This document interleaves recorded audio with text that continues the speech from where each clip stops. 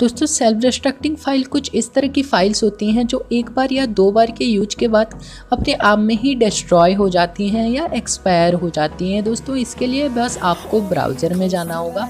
आप कोई सा भी ब्राउज़र में जा सकते हैं। मैं यहाँ पे जो है क्रोम ब्राउज़र पे जाऊँगा।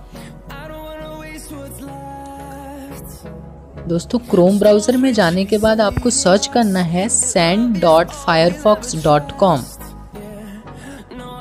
फिर दोस्तों, आप कुछ इस तरह के पेज पे आएँगे, फिर यहाँ से जो है अपना फ़ाइल जो है अपलोड कर लीजिए।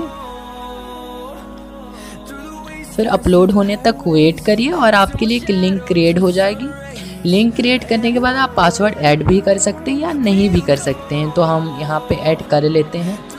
तो दे देते हैं one two three four five add कर लेते हैं, फिर कॉपी कर लेते हैं जो हमारा लिंक है, फिर चलिए इसको एक बार चेक करके देख लेते हैं। तो यहाँ पे जो है देख सकते हैं पासवर्ड का ज़रूरत पड़ रहा है, फिर यहाँ से जो है डाउनलोड कर लेते हैं। तो दोस्तों डाउनलोड जैसे कि देख सकते हैं स्टार्ट हो गया है। फिर डाउनलोड होने के बाद और एक बार चलिए हम इसको जो है चेक करके देख लेते हैं।